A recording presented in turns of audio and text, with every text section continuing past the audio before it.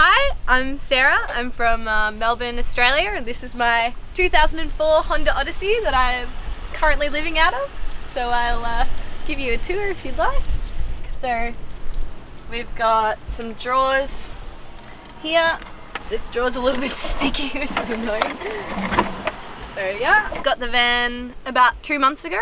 Spent about a week kind of doing it up uh, at my friend's house, so that was good because yeah, he had all the tools and all of that. So we kind of like trudged it through. It was quite um, quite a process and a lot of like it was definitely harder than I expected um, to do the build. But I don't really have much carpentry experience, so that's probably why. I've got like kind of compartments for food um, down here and that was really good with this model actually oh, it's a little bit messy but um there's so we basically like took all the seats out and there was it's a seven seater or I think it's yeah something like that. And um, there was this was like a compartment for seats. So we took that out and that added like a lot of extra space that I sort of didn't really like count on having. So that was like a really good thing with this van. I chose this as well because it's kind of like quite discreet um, which I thought would be nice um, and potentially a little bit more fuel efficient than like a massive van. Um, and I didn't need heaps of space because I've just put, I've just got a single bed in there, which is good. Yeah, this is basically the whole kitchen area. So um, I usually keep my gas stove in here, um, food in here, and then this is all my, this kind of my cutlery drawer, which is a little bit makeshift, but um, yeah. So this is the kitchen area, and then like usually if I'm cooking, I'll just sort of get this out and kind of like prepare it all here. But usually I sort of just do what we've done over here. So basically like cooking out on the out on the grass somewhere because I find that a bit nicer. And, but we'll see. I think I'm to get a little table actually because um, yeah, it does kind of get annoying sometimes. The bedroom's around here. I'll leave that open. The other great thing about this Honda Odyssey is that it has like electric doors and I love it. It's kind of loud sometimes if you're trying to be discreet in the middle of the night, you just hear this whirring sound, but I think it's really helpful. Um, so yeah, I've got um, the, the bedroom area, so I keep my clothes in here. Um, that's my kind of cupboard drawer. Yeah, so I've got this, I actually found this like piece of wood um, and it's perfectly straight, so I like love that um, and I'm just hanging this off there. But on these windows, I've just kind of duct taped paper there.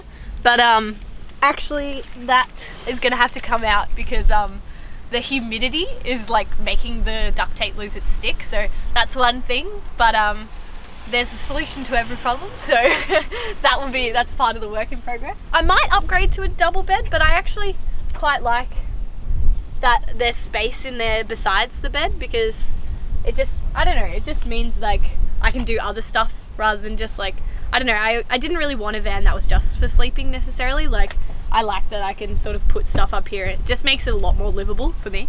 This is kind of storage um, and those two under there are sort of storage as well but I don't have heaps of stuff so I kind of try and keep it um, to a minimum. And pretty much if I don't use something then I don't have it. The only thing that I really have in long-term storage, which is under there, is like I've got like a wetsuit and stuff like that for diving. So yeah, that's about it. But everything else I pretty much use every day. There's like lights all in the back, which is nice. So if I'm parked and I just need to light it up for a second, then I'll use these ones. So that like that and there. There's like four in the back. Um, but I can't obviously use them at all times because there's, you know, the battery will die. So, yeah, I guess this is my lighting, but I, that could definitely do with some improvement. And then charging, I usually charge like throughout the day if I'm at uni. So I'll charge my laptop um, there. But if I need to charge something, there is um, like a power outlet um, little guy there, like in the cigarette lighter part of the car. Yeah, definitely one thing that would be good would be to have a cooler. Um, I did have a cooler for a while, but it actually snapped, so that's why I don't have a cooler at the moment. Um, and yeah, I didn't want to. I didn't want to have to keep buying ice, so that was another thing. So I'm still kind of trying to work out the refrigeration issue.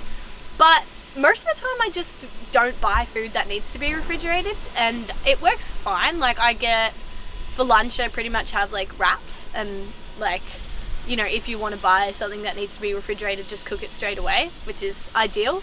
Um, but yeah so that's mostly it. And then I had um, skim milk powder for milk but that spilt all in the back so that was a bit annoying.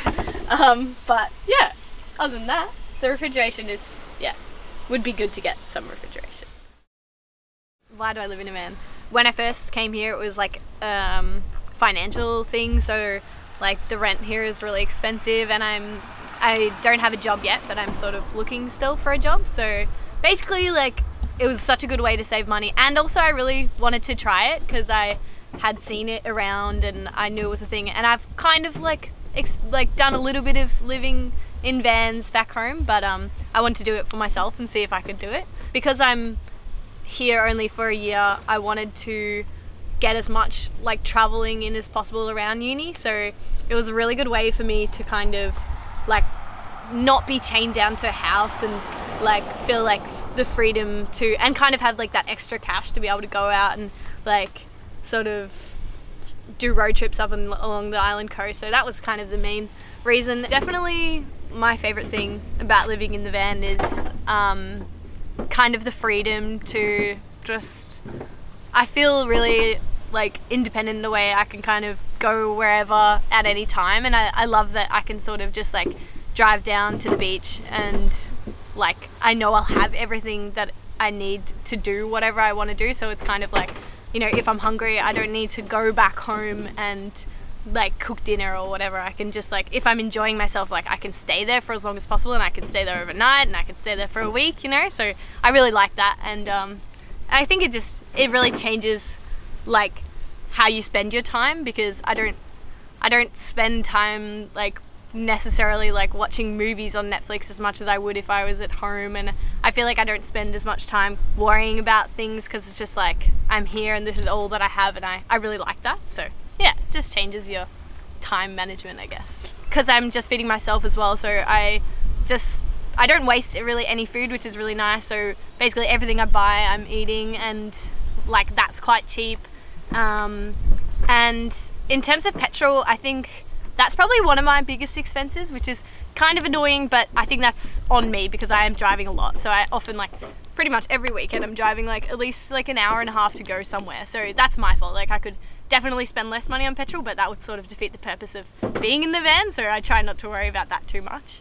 When you take rent out of the equation, like I just feel a lot better about spending money if I wanted to say like get a nice meal or something, then I, like I would never usually do that, but now I feel like I can do that because I'm sacrificing the money that I would spend on rent so that's really good. Everything I have is kind of on my person if if not in the car I like I like that idea and yeah I don't I don't really have that many things in general and I guess being over here as well like all I have all I had when I came here was everything that would fit into a backpack anyway so it's kind of like it wasn't so much of an issue. I definitely, yeah, didn't need to throw anything out. But yeah, I definitely, I, I think that living like a minimalist lifestyle is probably really, I think it's really good for your like soul and I think it makes you like kind of just like a lot happier because you don't have to worry about where everything is. Also, the other thing that like kind of unexpected great thing about having the van is I'm I've always been the kind of person that like has a very like loose hold over my things when I did have things. And so I would lose stuff all the time or like misplace it. And I spent I spent like you know half the time looking for things.